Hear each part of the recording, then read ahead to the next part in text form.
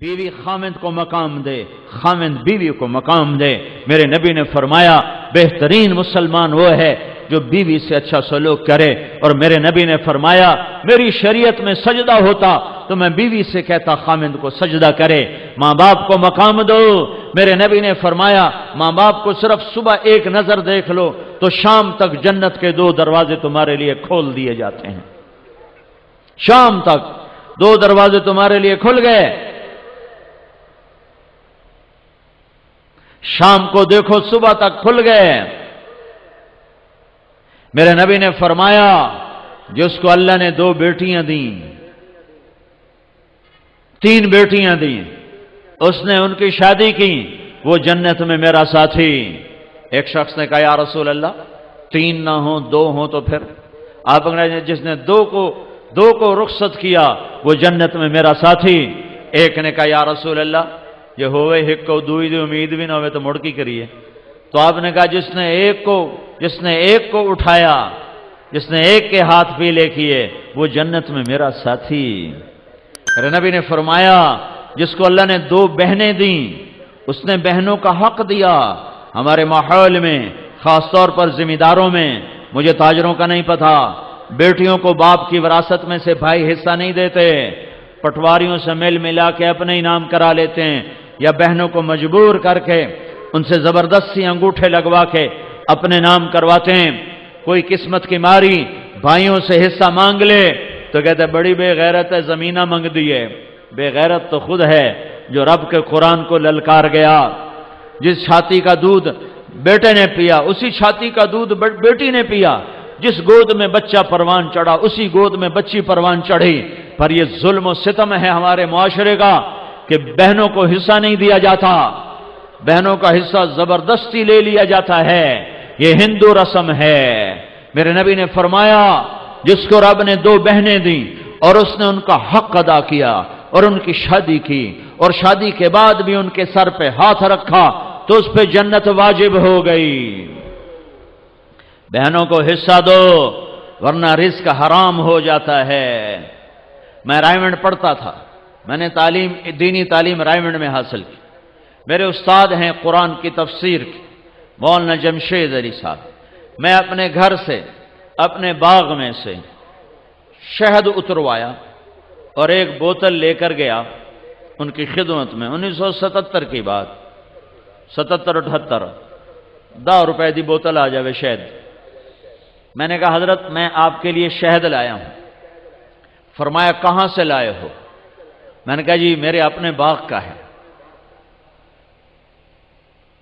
तो मेरे उस्ताद मुझसे फरमाते हैं, तेरे बाप ने अपनी बहनों को ज़मीन में से हिस्सा दिया था। एक बोतल शहद है तहकीक कितनी हो रही है? बहनों को हिस्सा दिया था। वो ये भी तो कह सकते थे, माशाल्लाह जजाक अल्लाह थोड़ी मसीत चो ऐलान नहीं होंगे पे। माशाला जजाक अल्लाह माँ, पाँच रुपए दे गया दस रुपए दे गया माशाला जजाक अल्लाह भावे किसी के गले चो भंत लैके दे गया तो दे गया माशाला जजाक अल्लाह माशाला जजाक अल्लाह आवन दो आवन दो जिसने अल्लाह को जान देनी होती, उसके अंदाज और हैं। मुझसे फरमाते हैं, तेरे बाप ने बहनों को ज़मीन में से हिस्सा दिया था। मैं कहा अल्लाह का लाख लाख शुक्र है। मेरे प्यो की बहन ही कोई ना जे होंगी तो कदा देता है। सिर्फ़ दो भाई थे बस बहन है ही कोई साड़ी बड़ी मौज। हलाल है। तो फिर फरमाने लगे अच्छा ये बता, तेरे दादा ने अपनी बहनों को ज़मीन में हिस्सा दिया था? मैं क्या मेरे जमने तो पहले दे सवाल था, मैनू ना करो, मैनू क्या पता?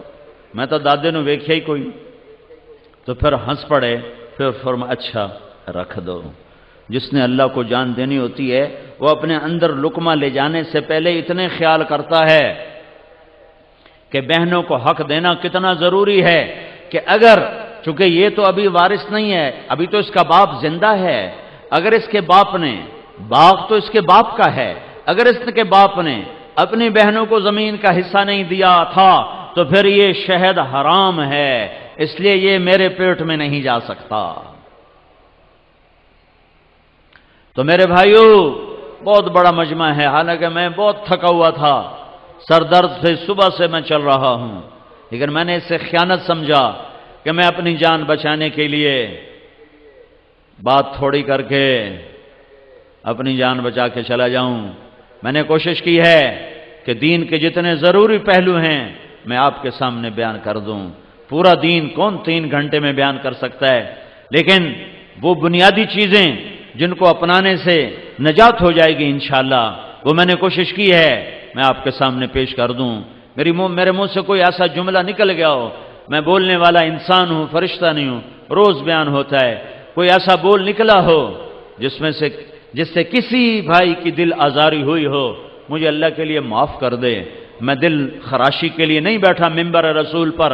मिंबर रसूल दिल नवाजी के लिए है, दिल खराशी के लिए नहीं है। ये गरजने बरसने के लिए नहीं है, ये मोहब्बत के फूल बरसाने के लिए है, लेकिन आखिर बोलने वाला इंसान है।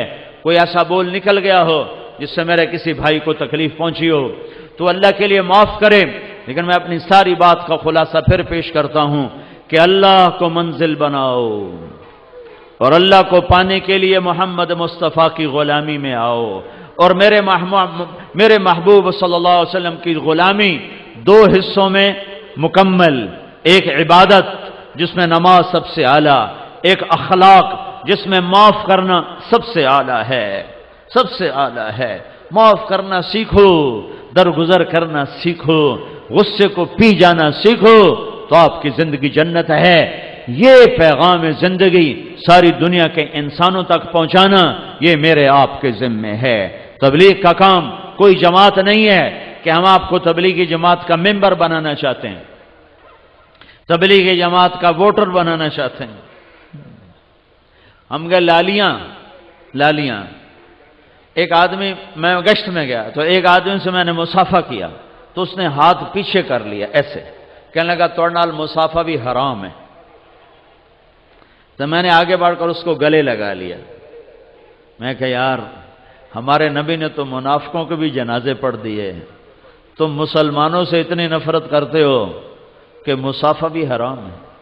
आपको मालूम है कि अब्दुल्ला बिन उबई का जनाजा मेरे नबी ने पढ़ा दिया उसका शायद बख्शिश हो जाए।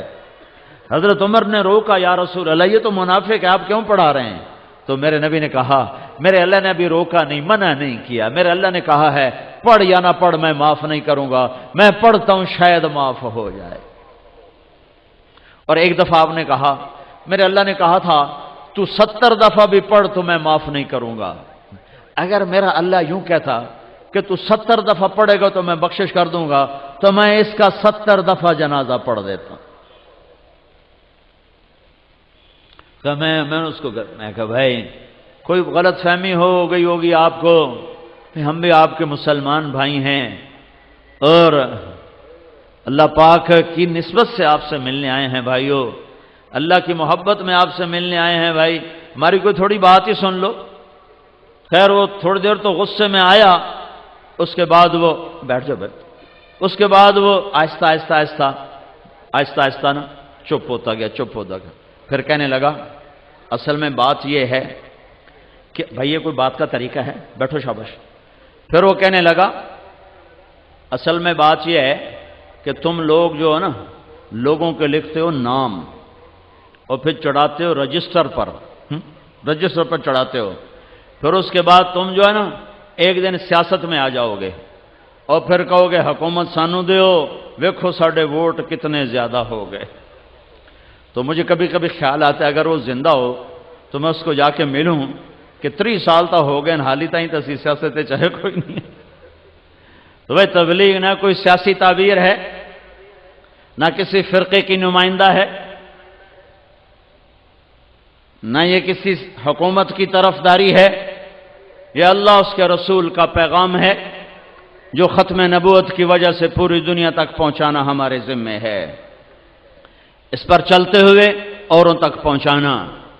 रोज़मर्रा की ज़िंदगी में नमाज़ ज़िंदा करो। इस जबान को गीबत से बचाओ। माँ बेटी बहन की गाली से बचाओ। लोगों की पगड़ियाँ उछालने से बचाओ। और लोगों को इज़्ज़त दो, चाहे बेइज्जत होना पड़े। लोगों को ऊँचा करो, चाहे नीचा होना पड़े। अल्लाह की कसम, अल्लाह तुम्हें ऊँचा करके दिखा देगा।